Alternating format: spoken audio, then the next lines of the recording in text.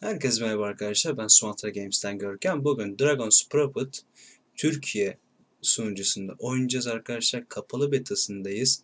Ee, oyun bugün açıldı ve sizlere aktaracağım arkadaşlar. Ee, Avrupa sunucusu zaten bildiğiniz kadarıyla var arkadaşlar. Senelerdir Avrupa sunucusunda oynuyorduk. Ee, ben fazla kasmamıştım. 35-37 levre kadar savaşçı kasmıştım. Ee, oyunda ama şöyle bir şey söyleyeyim arkadaşlar. Hani sürekli çağ da açsanız, yeni sınıflar da katsanız e, her defasında yeni bir şeyler öğreniyorsunuz. Her defasında da oyundan daha da zevk alıyorsunuz bana göre arkadaşlar. Ondan dolayı zaten yüksek levellere kasmamıştım. Bir de takım oyunu istiyor arkadaşlar. E, onu dile getireyim. Zindanları zor. Fakat Türkiye sunucusunda neler vardır neler yoktur tam olarak bilmiyorum ne kadar zordur. Ya da oyun bize neler sunacak hiçbir fikrim yok. Hemen karakterimizi oluşturacağız. Savaşçı, okçu, kain ve büyücü olmak üzere 4 tane sınıfımız var arkadaşlar. Bunlar da kendi içerisine daha sonra ikiye ayrılıyor arkadaşlar. Ee, okçu açacağım. En sevdiğim karakterlerden bir tanesi. Kombosunu yapabilirsiniz. Harika işler çıkartırsınız arkadaşlar. Genelde TR sunucusunda büyücü ve savaşçı açılacaktır. Büyük bir ihtimal. Ee, o yüzden bence okçu daha da güzel gider. Hemen oluşturacağım. Karakter yapılandırma ekranı zaten daha önce de çekmiş olduğum Dragon's Prophet serisinden biliyorsunuz arkadaşlar. Yeni arkadaşlara tek tek anlatayım. Buradan vücut ayarlarını falan yapabiliyorsunuz. Benim her zaman dikkat ettiğim bir konu vardır. Bayan yapıyorsan kalça ve göğüs ayarı yüksek olmalı arkadaşlar. Ben öyle seviyorum oyunlarda. O yüzden direkt onları yapacağım. Şöyle. Bu iyidir. Biraz dik olsun. Şöyle tamamdır. Sonra pozuları biraz geniş yapalım. Okçuyuz abi. Kas yapmış olsun. Şöyle. Kol uzunluğuna gerek yok. Oyunda bunların hani ekstra bir özelliği yok arkadaşlar. Sadece görüntü. Haberiniz olsun. Ee, şöyle bel genişliğini yapacağım biraz. Bel kalınlığına gerek yok. Kalça genişliği de olsun. Şöyle biraz yapalım abi. Her türlü şeyleri buradan ayarlayabiliyorsunuz arkadaşlar. Oyunda e, giriş zırh rengini falan seçebiliyorsunuz. Daha sonra zırhları e, renklerini falan boyayabiliyorsunuz. Ekstra özel e, oyun içi satılan kitaplar falan var. Onları alıp zırhlarınızı istediğiniz renkte boyayabilirsiniz arkadaşlar. Şöyle yüzü geçelim hemen. Bir tane yüz seçmek istiyorum. Şunu her zaman severim. Ama şöyle bir bakalım abi. Şuradan. Şu da gayet güzel. Şu da gayet güzel ama şunu yapacağım. Biraz daha gerçekçi göründü gözüme. Okçu olduğumuz için şöyle şık bir saç gayet güzel gider. Genelde bunu yapıyorum ya da bunu yapıyorum ama şu hoşuma gitti. Direkt bunu yapmak istiyorum. Buradan da oyunun bize vermiş olduğu hazır yüzler, saçlar var arkadaşlar. Kafa yapısı gerek yok. Göze gerek yok. Kaşlara gerek yok. Göz boyutu evet biraz büyük yapabiliriz. Burun gayet güzel. Dudak gayet hoş. Fazla oynama yapmayacağım. Ee, şöyle ten rengini biraz koyu yapacağım. Buradan da şöyle vücut ayarına geldiğimizde tek tek görelim diye aşağı indireceğim. Göz rengini hemen değiştirelim. Kırmızı yapabiliriz. Hatta şuradan bir de omuz genişliğini ayarlayacağım arkadaşlar. Şöyle daha da güzel oluyor. Şimdi gözü kırmızı yaptık. Dudak koyu renk olsun. Saç rengi de şöyle oldu mu gayet şık ve güzel olur. Buradan zırhımızın üstümüzdeki elbisenin renk tonunu seçebiliyoruz arkadaşlar. Ee, şöyle bordo yapacağım. Gayet de güzel oldu. E buradan oyun içi zırhlarınızı görebiliyorsunuz. İleriki levellerde giyeceğiniz zırhlar arkadaşlar bunlar. Haberiniz olsun. Hepsi birbirinden güzel. Karakterimizi bitirmeden önce şuraya bir isim yazalım. Sumatra Kaplanı diyerekten karakteri bitirelim. Fakat özel bir şey kullandığımız için Sumatra yazacağım sadece. Yeter de artar. Oyuna giriş yapıyoruz arkadaşlar. Oyun 10.5 GB bilginiz olsun. Yaklaşık 25 GB bir boş alan istiyor. Ee, kapalı betası 1-2 hafta sürecek arkadaşlar. Ee, onun sonunda kasmış olduğunuz karakterler silinecek. Ee, bütün kapalı betalı oyunlarda böyle olur. Kasarsınız bütün her şey kolaydır. Bütün her şeyi size sunar. Ondan sonra açık beta açılır. Orada da işte kapalı beta'da oynayan kişilere belli başlı hediyeler verilir. Ee, ve hani açık beta'da kastığınız çarlar silinmez. O çarla da normal oyuna devam edebiliyorsunuz arkadaşlar. Bilginiz olsun. Kapalı betasında bir hafta boyunca oynayacağız.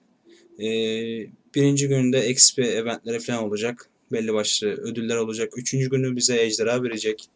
Üç farklı ejderha var. Onlardan bir tanesini verecekler. Tam, tam olarak bilemiyorum.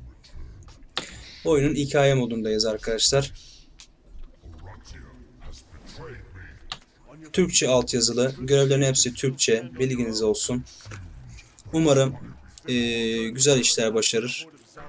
E, Avrupa sunucusu gayet güzel, seviliyor. Herkes tarafından oynanıyor. Ben de oynuyorum açıkçası. Fakat Türkiye sunucusundan pek ümitli değilim. İnşallah benim yüzümü kara çıkartır. 5-6 ay sürmez. 5-6 ay sonunda da kapatılmaz. Çünkü daha önce Dragon Nest'in başına geldiğini biliyoruz. Diğer başka Türkiye sunucusu olan oyunların başına geldiklerini biliyoruz. Ondan dolayı inşallah bu oyuna da aynı şeyler olmaz. Şöyle combo sistemi var arkadaşlar. Görmüş olduğunuz gibi mananızı tazeleyebiliyorsunuz. 3 vuruş yaptıktan sonra okçuda. Ee, bu oyunda her şey kombodur arkadaşlar. Bilginiz olsun. Ee, onlara dikkatli olun. Dikkat edin. Komboyu kaçırırsanız PvP'de şansınız yok. Boss keserken şansınız yok. Kaçma kaçılma skillleri var. Ee, biraz zordur. Fakat e, alışırsanız çok çok zevklidir arkadaşlar. Bilginiz olsun. Ana hikayeyi biraz oynayacağız. Burada köyümüze ejderha saldırıyor.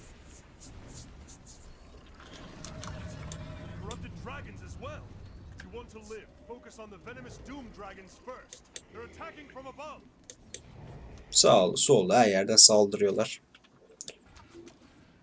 Oyunda parti kurmaya çalışın. Dediğim gibi zindanlarda özellikle parti kurmaya çalışın arkadaşlar. Tek başınıza girebileceğiniz zindanlar var. Grup halinde girebileceğiniz zindanlar var. Onlara dikkat edin. Ee, ödüller ona göre değişiyor. Zorluk derecesine göre ödüller değişebiliyor. Zindanlardan set kasabiliyorsunuz arkadaşlar. Ee, bilginiz olsun. Oyunda yaklaşık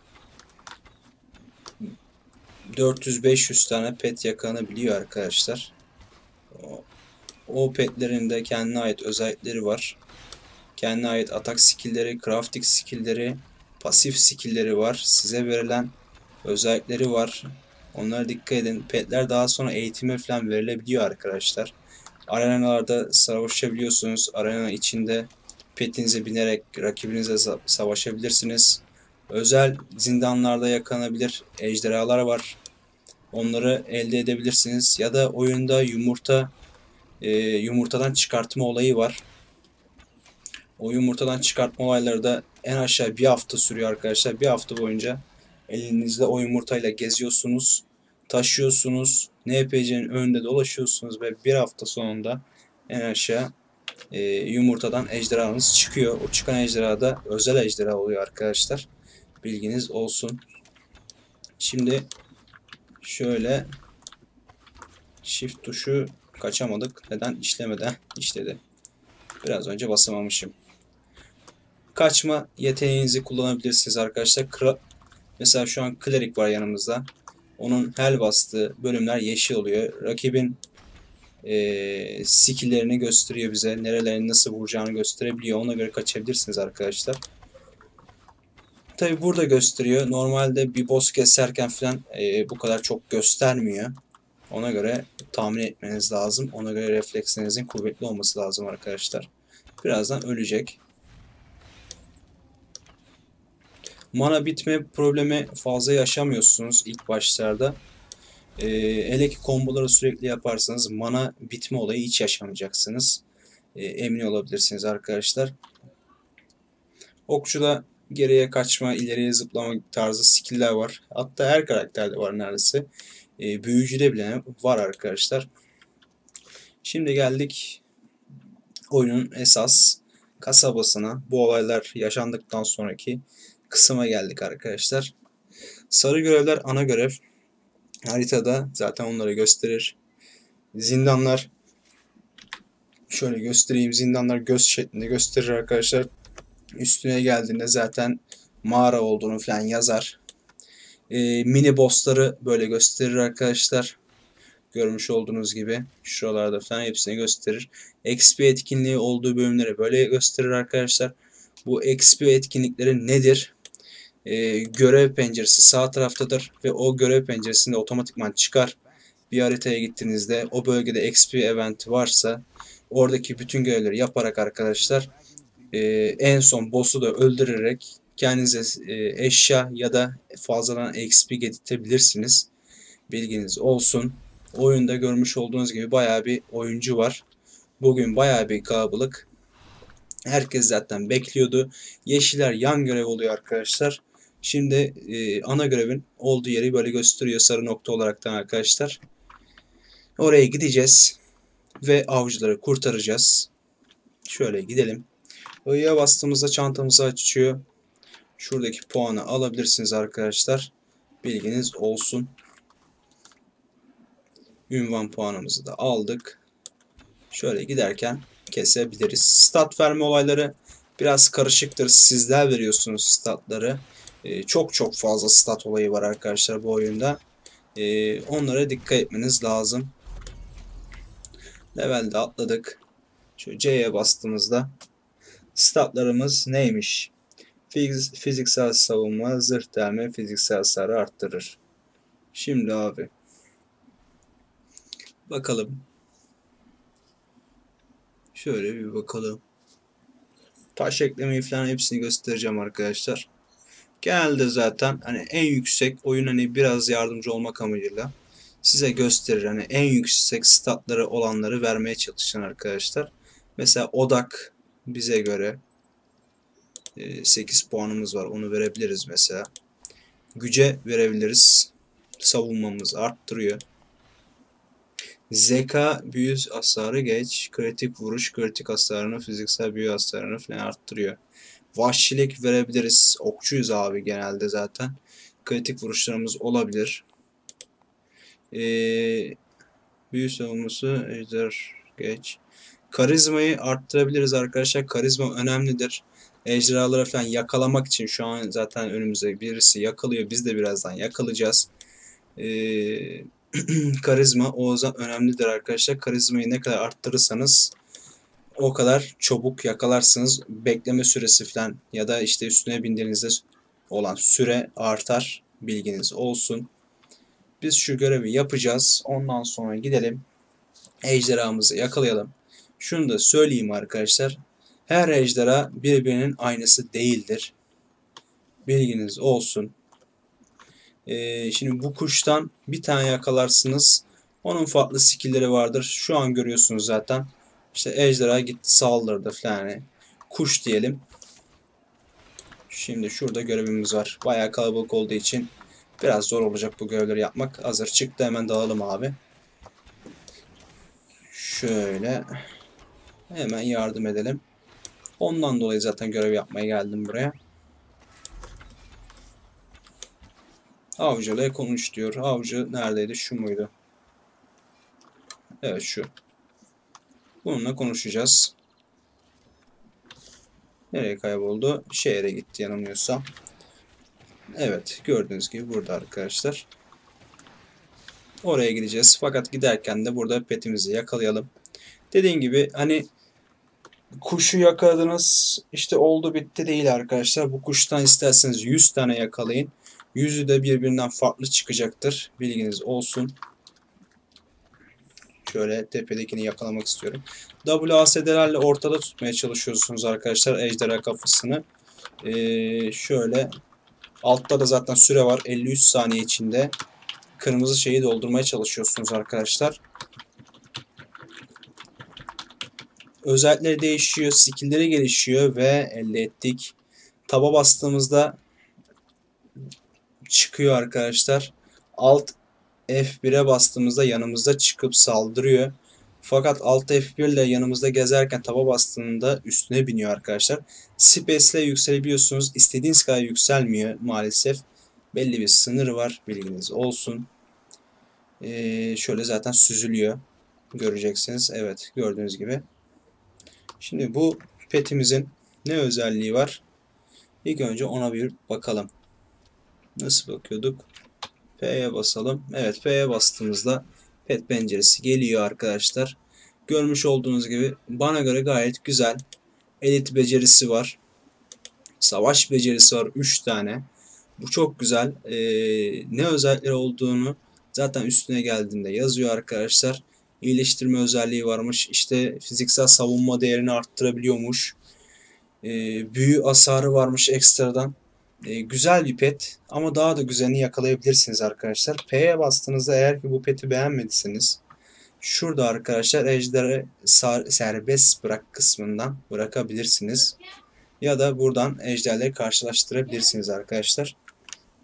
Müsaadenizle.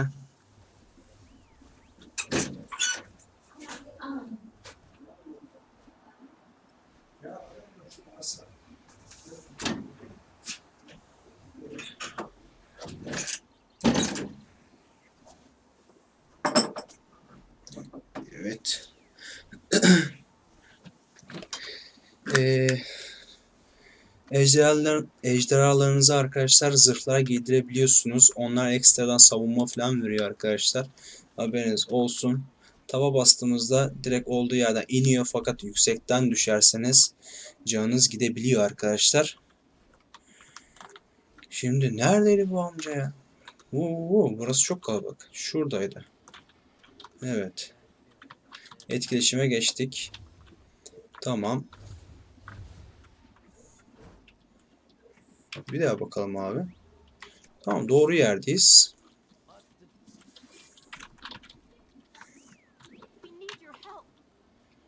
Tamam. Ve görevi yaptık arkadaşlar. Şimdi bir daha görevi yapacağız. Şimdi gidebiliriz. Başka bir görevimiz yok. Taba bastık. Petimizi çıkarttık. Rahat rahat gidip kasılabilirsiniz arkadaşlar. Bilginiz olsun. Ee, Perfect Vault serisi yapıyorum. Fakat bunun yanı sıra Dragon's Prophet Türkiye serisi de yapabilirim. Eğer ki isterseniz arkadaşlar. Ee, şöyle söyleyeyim. Oyunda fazla bilgim yok. Açıkçası. Ama buna rağmen abi beraber oynarız. Öğreniriz ya da ben biliyorum zaten yardımcı olmaya çalışırım falan derseniz sizler de e, buyurun çıkın gelin arkadaşlar beraber oyunu öğrenip oynayabiliriz ya da bana öğretebilirsiniz. Bilmeyen arkadaşlara da ben sizler sayesinde öğretebilirim arkadaşlar. Bilginiz olsun. Şimdi şöyle çekelim, vuralım. Yön alma olayı var, nişan alma olayı var arkadaşlar. Bunlara mutlaka dikkat edin.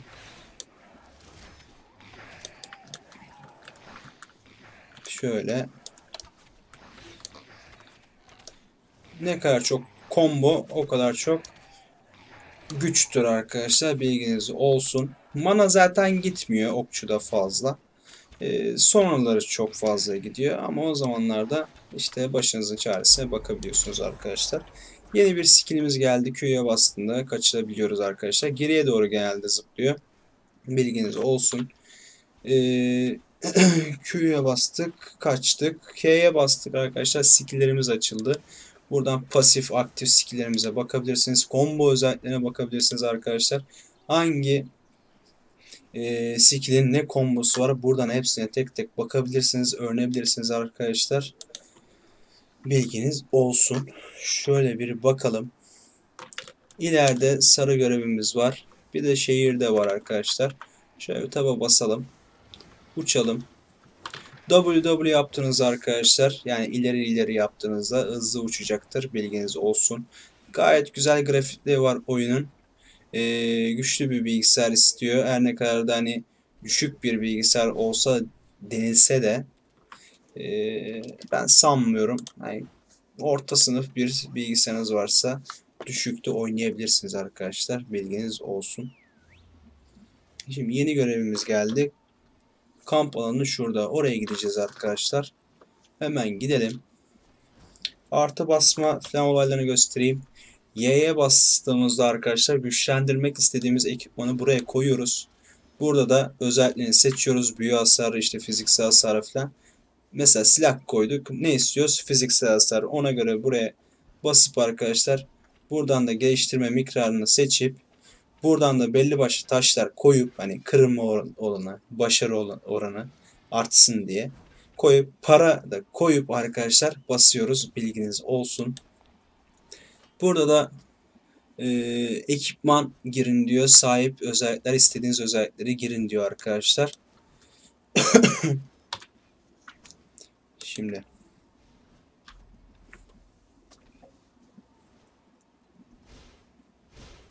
e, burada da yanılmıyorsam şöyle bir şey var arkadaşlar. Ne diyor? Seçtiğiniz ekipmanın üstünde bulunan özellikler seçtiğiniz özellik ile yer değiştirecektir. Ee, daha önce eklemiş olduğunuz silahınıza, işte zırhınıza özellikleri arkadaşlar değiştirebiliyorsunuz. İşte o silahtan bir özelliği kaldırıp başka bir özellik ekleyebiliyorsunuz. Ee, burada anlatılmak istenilen olay bu arkadaşlar. Üçüncü sekmede. Ee, burada da kaldırılmasını istediğiniz ekipmanı girin diyor. Özelliklerini kaldırmasını istediğiniz arkadaşlar. Bilginiz olsun.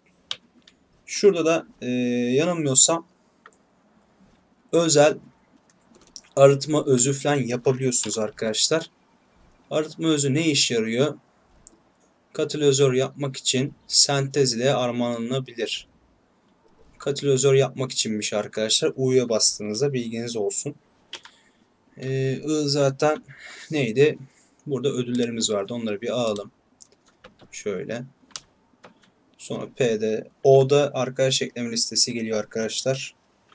T'ye bastık. T'de bir şey olmuyor. R'ye bastık. Hiçbir şey olmuyor. K skill. J'ye bastığımızda lütfen yerleştirmek istediğiniz tamam. Buradan mesela lütfen yerleştirmek istediğiniz ejder taşını buraya koyunuz diyor. J'ye bastığınızda ejder taşınız varsa arkadaşlar e, işte silahınıza, ayakkabınıza neyse onlara ekleyebiliyorsunuz arkadaşlar. Burada ejder taşlarına J tuşuna bastığınızda bilginiz olsun. Tek tek bakıyorum. Yani oyuna daha önce girmemiş gibi bakıyorum arkadaşlar. N tuşuna bastığınızda N tuşunda özel stat gibi skill'ler veriyorsunuz arkadaşlar. Bu skill'ler özeldir. Bunları sizler seçiyorsunuz. Buradan tek tek okuyup seçmeniz lazım arkadaşlar dikkat etmeniz lazım. Yanlış verilirse sıfırlanabiliyor. Fakat sıfırlamayı ben bilmiyorum. Başka arkadaşlar biliyorsa yorum atarsa sevinirim. Bilginiz olsun arkadaşlar. Bunları verirken dikkatli bir şekilde vermeye çalışınız. Ee, şurada neyi arttıralım? Hayatta kalma ustası. Şunu açalım abi. Arttıralım. Şunu da açtık. Tamamdır. Şimdi arkadaşlar neredeydi bizim görevimiz? Sağda. Hemen gidelim oraya. Ee, ve burada da videomuzu bitirmek istiyorum arkadaşlar açıkçası. Umarım beğenmişsinizdir. Ufak bir giriş videosu oldu kapalı beta'ya. Ee, üçüncü gün etkinliği dediğim gibi binek verecek arkadaşlar. Özel bir binek verecek oyun. Üç tane özel e, petten bir tanesini bize sunacak. Ee, dediğim gibi petlerinde stat muhabbetleri var, skill'leri var. Umarım adaletli bir şekilde verilir. Herkese eşit bir şekilde verilir. Ee, umarım güzel, başarılı bir oyun olar, olur. Ee, 5-6 ay süresi olmaz. Daha da uzun sürer arkadaşlar. Çünkü genelde Türkiye sonucuları 5-6 ay sürüyor. Ondan sonra oyuncu kaybından kapatılıyor. Fazla etkinlikten dolayı insanlar sıkılıyor. PvP PvP sıkılıyor. Umarım böyle bir şey düşünmezler, böyle bir şey yapmazlar. Güzel bir oyun olur diyerekten burada videomu bitiriyorum arkadaşlar. Kendinize iyi bakın. Görüşmek üzere. Hoşçakalın. İyi günler.